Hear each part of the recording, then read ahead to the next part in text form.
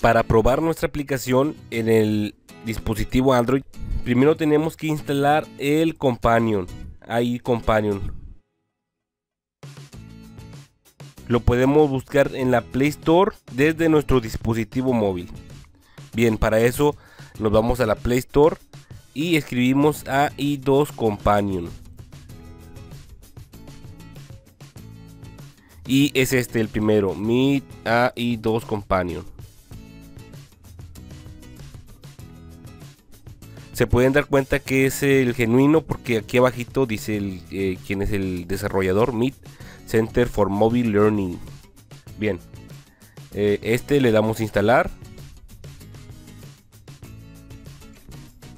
Nos van a aparecer los permisos, eh, no creo que sea muy mm, necesario ver los permisos ya que el Meet es confiable.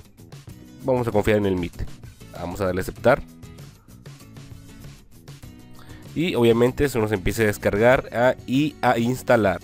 Una vez instalado le damos en abrir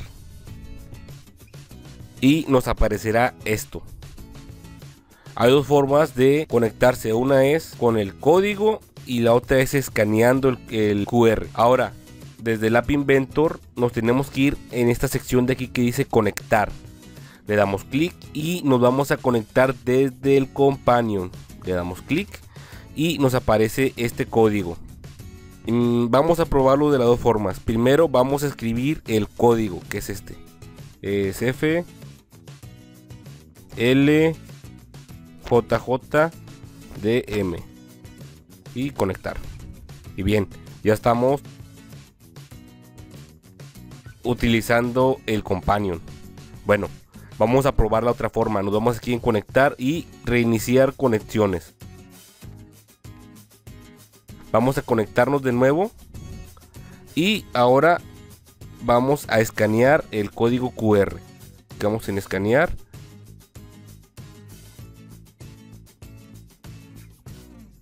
Y ya lo detectó.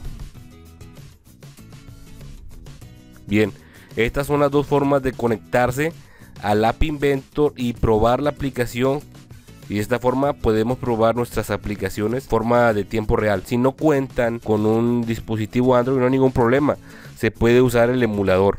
Como el emulador es un poquito más tardado, aquí les voy a dejar el, link del video o aquí les dejo en la descripción el, el link del video de cómo instalar lo que es el emulador. Bien, nos vemos.